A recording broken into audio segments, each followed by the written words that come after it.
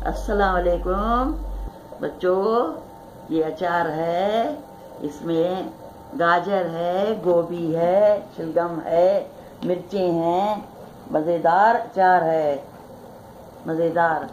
आप लोग खाएँगे भी और फिर दोबारा मुझे कहेंगे भी कि नानी अम्मा, आप अचार डाल के दें हमें। वाह बहुत मज़ेदार है शलगम है। कैसे बनाई है आपने? ऐसे ही बनाया गोभी गाजर शलगम हरी मिर्चें सबका। हाँ। गाजर को शलगम को गोभी को बॉयल करना उसके बाद आप रखना। हरी मिर्चियों को चीरा दे के डालोगे राई डालोगे लाल मिर्च हल्दी बस।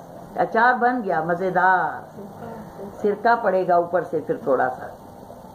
राई पड़ेगी। आप देखेंगे ये अचार खा के देखेंगे ना तो आप यही कहेंगे, नानी अम्मा, ये अचार हमारे पास यहाँ भेज दो। सही है? देखो।